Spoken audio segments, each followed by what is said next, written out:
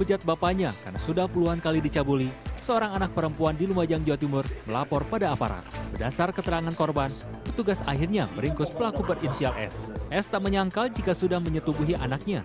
Petugas menyebut sedikitnya korban dicabuli sebanyak 30 kali. Sungguh tak disangka, alasan pelaku tega menyetubuhi putri kandungnya sendiri karena tidak ingin korban lebih dulu digauli oleh pria lain. Padahal saat ini, S sudah memiliki lima orang istri. Tim Liputan Trans 7. Thank you.